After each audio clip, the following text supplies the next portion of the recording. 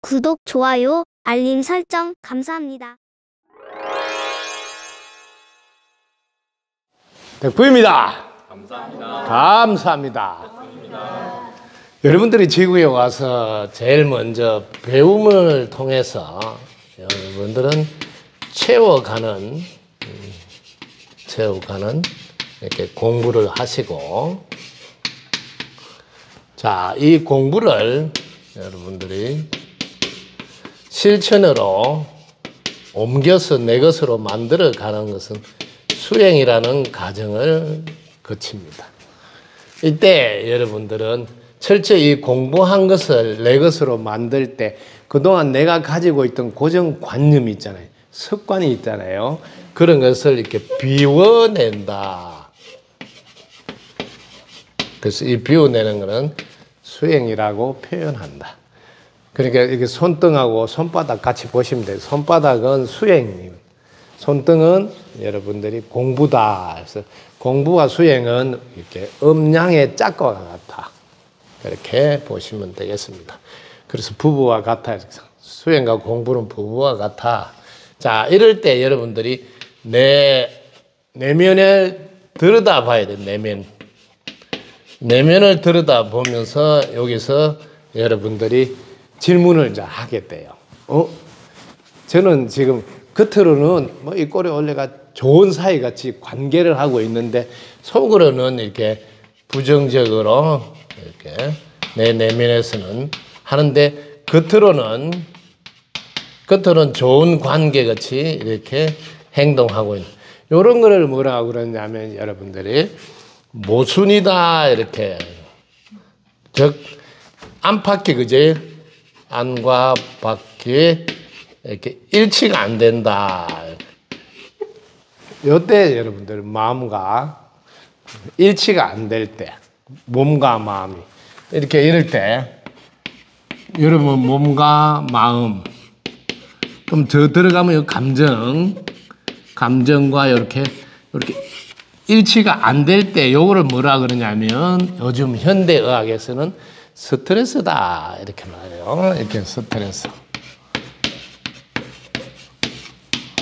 그럼 요게 여러분들이 여러분 몸에다가 신호를 주면 그 신호에 의해서 여러분들은 어, 병이 발생했다라고 혹은 통증이 유발된다.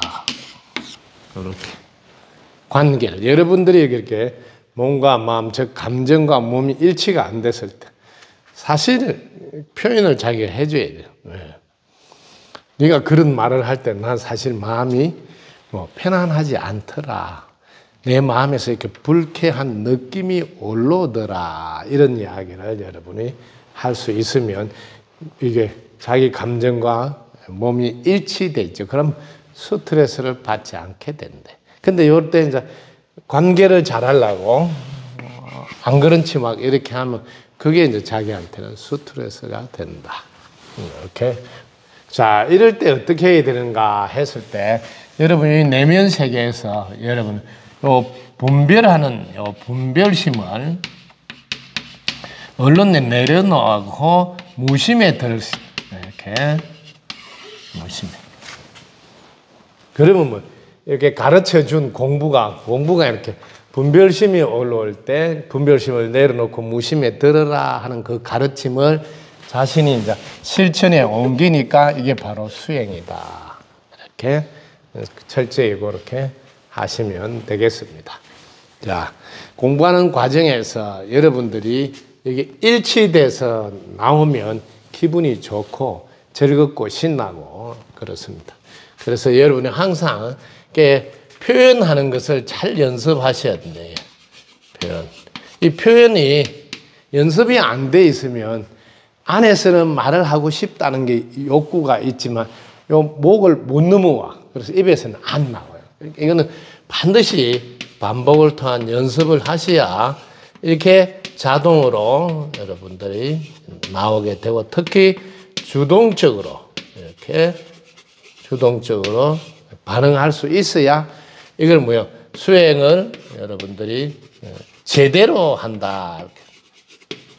수행을 제대로 하는 분들은 항상 제일 먼저 여러분들이 자 수행할 사람은 기본적으로 공경심에 공경심에서 출발해서 철저히 시간을 철저히 지키고 지켜.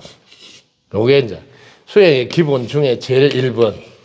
그 다음에 두 번째는 여러분이 야, 수행을 하면 요게 여러분들 자동적으로 자동으로 그 다음에 이게 주동적으로 여러분들이 반응을 해야 있는 무엇이 몸이 이 몸, 자신의 몸의 자동적, 그 다음에 주동적으로도 이렇게 반응할 수 있어야지. 그래야 수행을 제대로 해야 수 있다고.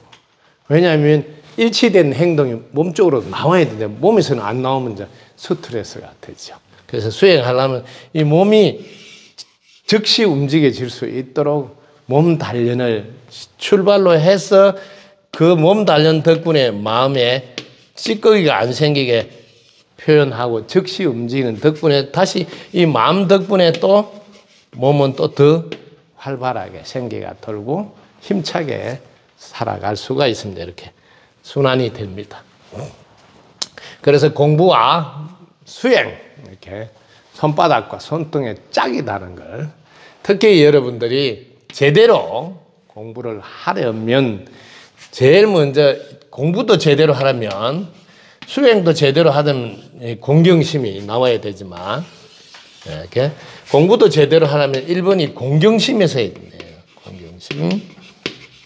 뭐냐면 자신에게 가르침을 주는 분에게 에게 가르침을 주는 분에게 먼저 공경심이 나오고 그래서 예의를 갖추고 그리고 늘 여러분들은 질문을 하셔야.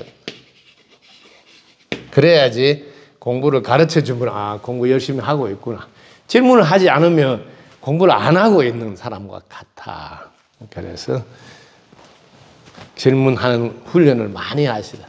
그래서 기본적으로 여러분 질문하는 삼박자, 질문해서 이렇게 하는 삼박자, 여러분들 배운 대로 해볼까요? 첫 번째는 무슨 뜻입니까? 이렇게 질문하는 무슨 뜻입니까? 이렇게 질문하는 연습도 하시고 두 번째 무슨 뜻이다면 왜 그렇습니까? 이런 연습도 하시고 이러면 계속 질문하게 되죠. 그 다음에 어, 자신이 어떻게 하면 될까요? 이렇게 어떻게 하면 될까요? 이런 질문을 이렇게 해서 자신 것으로 만들어 나가는 이런 삼박자 질문 연습도 많이 하셔서 이런 게 자연스럽게 자동적으로 나오도록 하면 공부 잘 할 수 있는 기본이 차근차근 만들어진다 이렇게 생각하시면 돼요.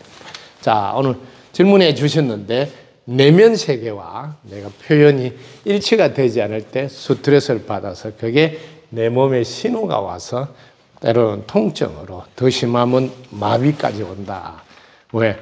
일치가 안 되니까. 그리고 참고로 하시면 되겠습니다.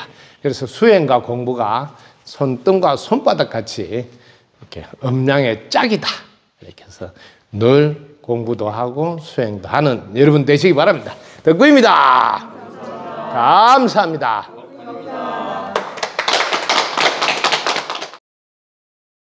구독, 좋아요, 알림 설정 감사합니다.